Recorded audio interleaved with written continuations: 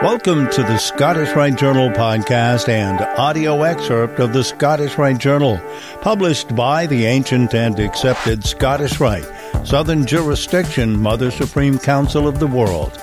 This week's article The Purple of Our Fraternity Caring for Our Material Culture by Heather K. Calloway.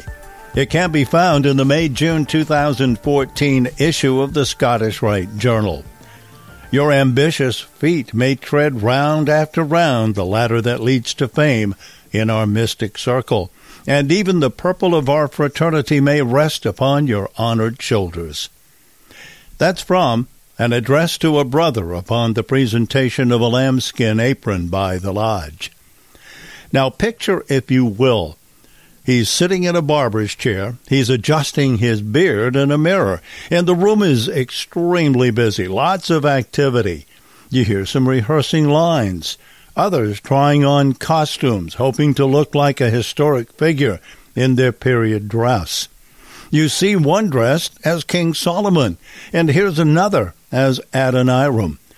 Now, to an outsider, this would look like any other theatrical production, but for those in the know, those guys backstage in wardrobe are yet another Valley of the Scottish Rite. They're getting dressed for a degree to perform in their reunion, but it wasn't always this way.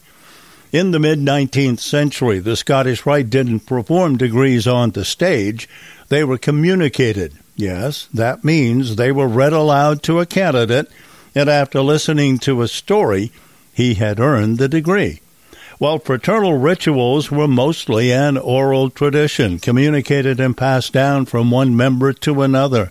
But with the changes that began to occur in theatrical productions and the new props available for the stage, fraternal groups began to incorporate stage effects into their rituals. Tracing boards were some of the first images used to teach ritual, portraying symbols and scenes from degrees. Following this, the magic lantern became what we would call a retro version of the modern day PowerPoint slide. The slides were often made of glass and the images projected onto a wall from a projector. Now, the ritual had been performed in the center of a lodge room in the past, in the late 1800s, now was suddenly moved to a stage. In the early 20th century, the Scottish Rite moved to a more theatrical production of their degrees. Instead of reading the ritual, they began enhancing the ceremony and performing it live on stage. Well, fraternal groups suddenly needed supplies in order to perform these new versions of the degrees in a theater type setting. As the theatrical effects grew, so did the equipment that supported the degree work. Supply companies such as C.E. Ward, M.C. Lilley, and Henderson Ames created props and costumes to add to excitement of the stage performances. So, what did these guys buy and how did they get it?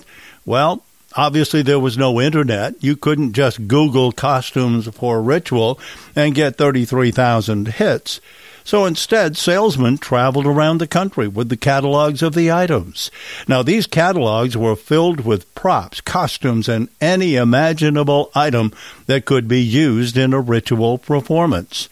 For instance, the C.E. Ward catalogs from the 40s and 50s featured aprons, jewels, hats, beards, shoes, minute record books, membership cards, lodge seals, working tools, an Ark of the Covenant, a gong, hoodwinks, altar Bibles, candidates' clothing, altar covers, candles, ballot boxes, gavels, lecture charts, rings, grave markers, the American flag, as well as literally hundreds of outfits possible to create the appearance of a mythical figure from the past. Some of the items, a majority of which are in that catalog, they're now the same items that are being donated to museums and archives for long term preservation. Now, some are in quite fragile condition as they have been well worn in degrees for the past 100 years. If your lodge or valley would like to preserve these items for display or for future use, this is what we recommend. If the item is cloth, aka textile, in the museum world, then note that this item is the most fragile of all types of artifacts. Now, most antique textiles are made of natural fibers that may include wool, cotton, linen, or silk. Now, you should keep the item away from light and temperature changes. If possible, keep in a flat file for archival purposes in an acid free folder, box, or sleeve. Antique silk textiles, such as the Masonic aprons that were produced in the early 19th and 20th centuries, are often chemically unstable due to a process called weighting. Now, this process occurred when metallic salts were added to the silk to add weight and body to the fabric. Silk fabric, which has been treated with metallic salts containing iron and tin, is probably the most fragile textile. Now, at the House of the Temple, we store the Masonic and Scottish Rite aprons in an old map file drawer. It allows for multiple aprons and separate acid free sleeves to be stored together in a dark, temperature controlled room.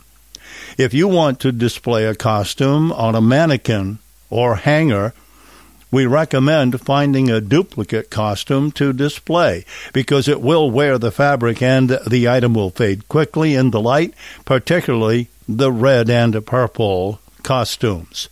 Second, if a mannequin is impractical, we recommend using padded plastic hangers for historic costumes. Metal and wood hangers should be avoided, as the fabric will stress wear and eventually tear. If you have a hat or fez that you'd like to display or store, use acid free tissue. You can wad it up and stuff it inside, or cardstock to keep the shape. Now be sure to keep it out of light and in a controlled temperature environment. Fezzes are often made of felt, a fabric made from wool. Wool can attract moths and carpet beetles, so take extra care when storing it keep felt hats in a cedar lined box or drawer, if possible. Now, if you find pests on the felt, immerse the item in warm water for at least 10 minutes and it should kill them. How about other items? Well, we just received some leather belts with 14th degree buckles. The leather has already rotted, so it will likely need to be discarded, but the buckle just needs a soft cloth to dust it off.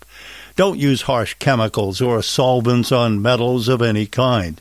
Now, another item frequently found in collections is a sword, and believe it or not, swords are easily damaged. They readily stain and rust if handled carelessly. Polish with a soft cloth and remove fingerprints. Use gloves to handle if possible. Swords often come in a carrying bag made of cloth, plastic, or leather. Don't store the sword in the bag. It can cause damage depending upon what the bag is made from. Now, while preserving the history of the Scottish Rite has always been a priority for the House of the Temple Museum, they are actively working with valleys and blue lodges to help them preserve their Scottish Rite history, particularly regalia used for degree work. Beautiful costumes elaborate props, and hand painted backdrops were created for fraternal groups for over 150 years, and ritual supply companies flourished. But today, many Scottish Rite valleys are moving to new locations, selling their old, larger buildings in favor of a multi purpose space shared with other Masonic groups. They have also begun to change the way they conduct degree work and hold reunions. As valleys reevaluate their work, they have turned to the House of the Temple for assistance in the preservation of their materials. So, if your lodge or valley needs assistance in creating a plan for preservation, please let us know. Albert Pike claimed that the fourth degree was the first step toward the inner sanctuary and heart of the temple. Let's make sure we preserve the history of that temple. Now, don't forget you can read the Scottish Rite Journal anytime by downloading the Scottish Rite Journal app, free now in your app store. The Scottish Rite Journal is published by the Supreme Council, Ancient and Accepted Scottish Rite, Southern Jurisdiction. The illustrious S. Brent Morris, 33rd degree, editor in chief, copyright 2018, all rights reserved.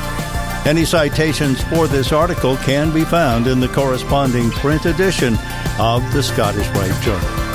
I'm your host, Bob Chase, 33rd degree. Thanks for listening